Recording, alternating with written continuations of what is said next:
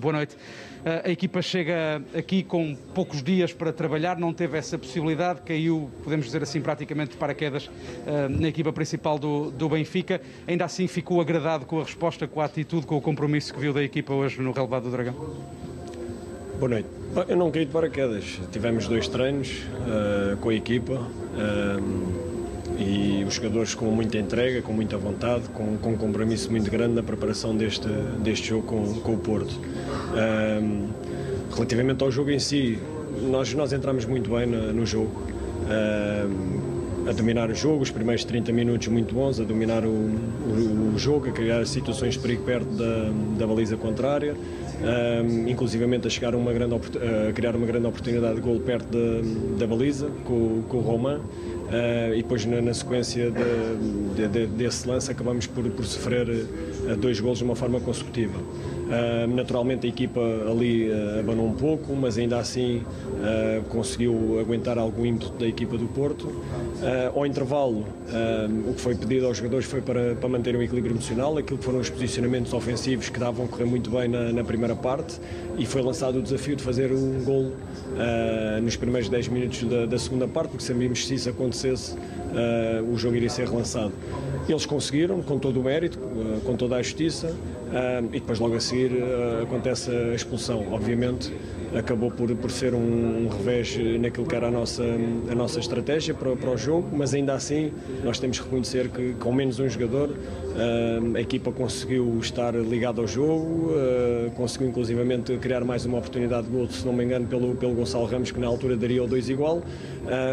E depois o Porto acabou por fazer o 3-1, numa altura em que a equipa, obviamente, foi acusando alguns desgastes, mas obviamente estamos muito chateados e tristes pelo resultado. Mas acho que os jogadores foram numa entrega, uma entrega total na, neste, neste, neste jogo aqui no, no Dragão. E obviamente vamos frustrados com, com a derrota, eles estão lá dentro, estão estão chateados, estão frustrados porque sentiram que, sentiam que uh, numa relação numérica de igualdade as coisas podiam ter sido de outra, de outra maneira. Mas pronto, é seguir em frente. Veríssimo, a equipa, o primeiro gol acaba por surgir de um lançamento de linha lateral, marcado rapidamente e a bola entra ali numa zona perigosa. Já no jogo da taça, é Benfica tinha sido traído num lançamento e num canto nos dois primeiros golos. O Veríssimo, inclusive, enquanto elemento da equipa técnica de Bruno Lage, nas épocas em que esteve também já ligado à equipa técnica do Benfica, digamos, era o homem das bolas paradas. Há aqui de facto trabalho de casa a fazer ou falta apenas um pouco mais de concentração competitiva, até porque lembro-me de alguns livros na primeira parte em que o Porto marca muito rapidamente os livros e a equipa às vezes parecia um pouco relaxada e fora de posição. Uh, foi um ou outro momento em que isso aconteceu. Uh, nós sabíamos de antemão que o, que o Porto tem essa, essa perspectiva de, de, de jogo. Uh, os atletas, uh, muito também em função daquilo que aconteceu no jogo, no jogo anterior, estavam alertados para isso e, e, eles em muitos momentos conseguiram, conseguiram contrariar esse, esse, essa forma de, de, de abordagem do, do, Porto relativamente à bola parada. mas obviamente acabámos por sofrer um gol dessa maneira, mas a equipa em, coletivamente conseguiu suster muitas das ações ofensivas do Porto e criamos oportunidades para fazer gol e obviamente reforçar e sublinhar que Obviamente esperávamos levar outro resultado aqui, não conseguimos, mas temos que olhar já para o futuro. O futuro é o próximo jogo em casa com o Passos de Ferreira e deixar já aqui um repto aos nossos sócios e adeptos para, para se deslocar ao Estádio da Luz na, na, próxima jornada, porque ainda há, muito, ainda há muito campeonato pela frente e a equipa ainda tem muito por, por onde andar, por onde crescer e por, por muito por, por, por mostrar. Faltam 18 jogos no, no campeonato, o Benfica está a 7 pontos da frente pior notícia para o Benfica é o facto de estar a, dois a sete pontos, dois adversários e não apenas de um. Se olharmos ao facto que em quase uma volta do campeonato Porto e Sporting só perderam quatro pontos, pode-se falar aqui de uma missão quase impossível recuperar não. sete pontos para duas equipas? Não, não, não vou escamotear, não vou, já lhes disse, não, não vou passar a banha da cobra. Obviamente a situação está, está complicada, está difícil. A história mostra-nos que, e podemos ir a campeonatos passados, vantagens de sete pontos, um, podem ser superadas. É verdade, temos dois adversários, não, não é um, são dois.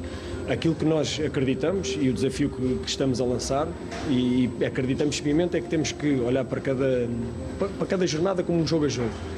E vai ser a perspectiva uh, até ao final do campeonato. Olhar cada jogo com um desafio diferente, a obrigatoriedade de, de, vencer e a partir daí, vencendo os jogos que temos pela frente, reduzir distâncias para, para, os, para os dois rivais que estão, estão, obviamente, à nossa frente. Essa vai ser o, vai ser o objetivo agora para, para os jogos. Permita-me uma última pergunta, Nelson Veríssimo. Os últimos dias foram um turbilhão de emoções para si, estava preparado para orientar a equipa B e foi chamado à equipa principal, teve apenas dois treinos, do ponto de vista pessoal, foram também dias difíceis por uma perda importante familiar.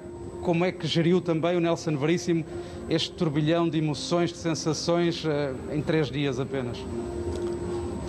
Duas formas. Uh, manter o foco, uh, obviamente, naquilo que era, não digo que era mais importante, mas que era importante, que era a partir do momento em que surgiu este contexto estar presente com a equipa, porque estes jogadores merecem, e estive de alma e coração, fruto da circunstância que me aconteceu relativamente a essa situação, apenas eh, mandar um, aqui publicamente um abraço a todas aquelas pessoas que, direto ou indiretamente, me enviaram as condolências, mas a vida continua.